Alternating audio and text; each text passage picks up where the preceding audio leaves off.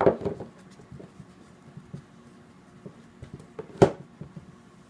are you doing? Are you comparing them?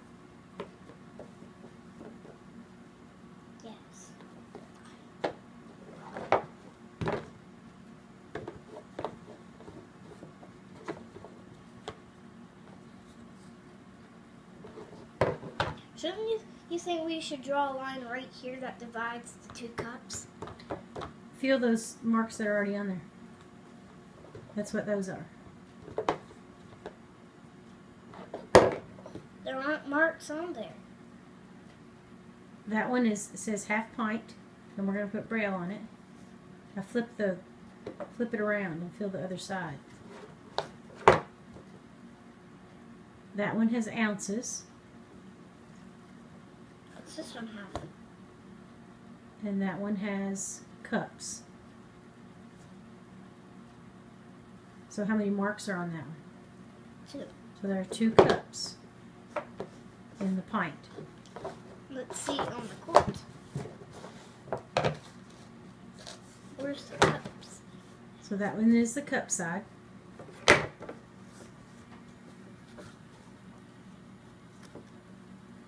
And we'll put braille on them.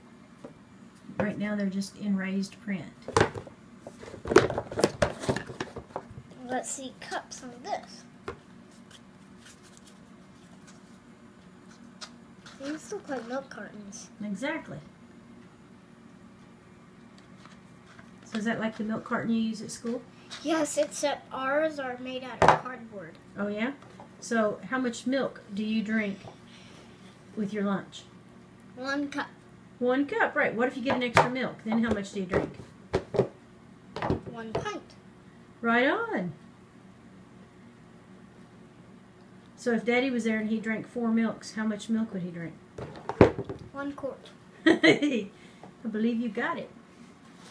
No, I bet what I would do. I would drink one cup. You, I would drink one milk. You drink two. Daddy would drink four. Do you get extra milks? Sometimes. Sometimes, so sometimes you drink a pint of milk at lunch? Yes. Oh my gosh, that's a lot. So what do you think? We add braille to them? That make it easier? Yes. We should also use these to measure instead of using the measuring cups. Well, they're the same as the measuring cups, so I don't know where our measuring cups are right now. So Those are just used. Those are used to learn to measure liquids, so that you can understand the difference between quarts, pints, and cups. So if we were making a cake and it said half a pint, we would get the cup, Right. pour what we need in, then pour it out. Exactly.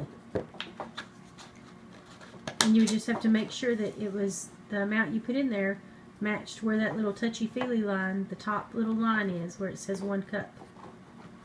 Or one quart, one pint. Show us how much is a gallon? Two quarts? A gallon.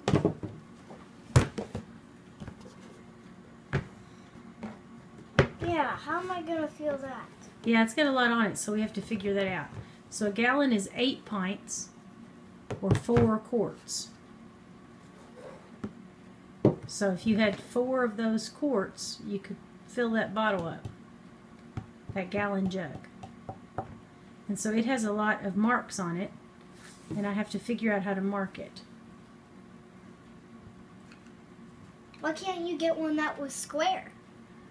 Oh, we are. We're going to use one of the Costco ones, and I'm going to see if I can put. put. it's gonna be square like these. Mm-hmm. It, well, it's not exactly square, but it's kind of square. I'm just I'm trying to find things that we can put braille labels on easy, easier. So if you put dark colored liquid in there, like food coloring and water, where it was dark colored, This looks do you like think you have enough vision to be able to see it? This looks like a milk jug. Yep, uh, that's because a milk jug. We buy milk in one gallon quantity.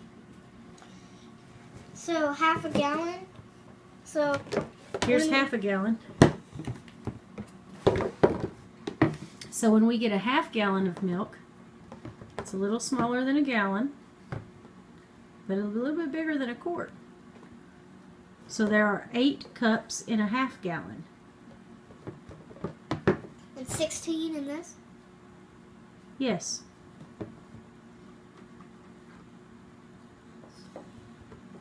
So if I got 16 of these cups and just sliced off this top and then kept putting them in, there would it fit perfectly? Yep.